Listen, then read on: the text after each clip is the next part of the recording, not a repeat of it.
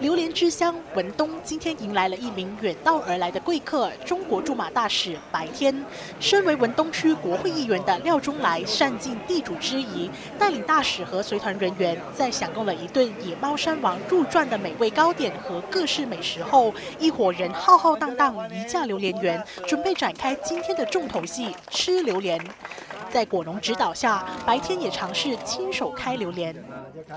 第一次到访文东的白天就透露了一个小秘密，原来啊，他本身就是果王榴莲的忠实粉丝，而且他吃榴莲的经历已经有二十年之久，而且目前他最爱的榴莲品种是第二十四根猫王。文东榴莲是第一，呃，应该是第二次啊，之前在吉隆坡有吃到，啊，也是廖部长呃送我吃的，很好。所以呢，我是循着榴莲的香气而来。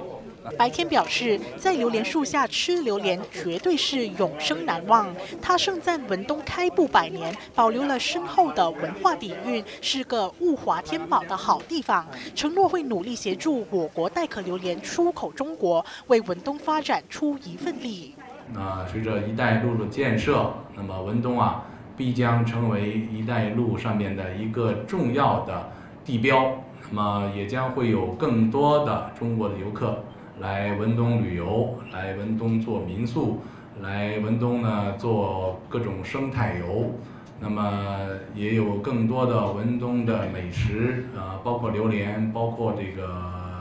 这个叫呃毛丹，包括呢还有啊山竹，啊都会将输往中国。廖中来则指出，我国是最早响应“一带一路”倡议的国家，如今正高唱丰收。未来马中两国将继续加强合作，希望在大使协助下，把文东打造成经济蓬勃发展的生态旅游中心。八度空间谭凯倩、彭亨文东报道。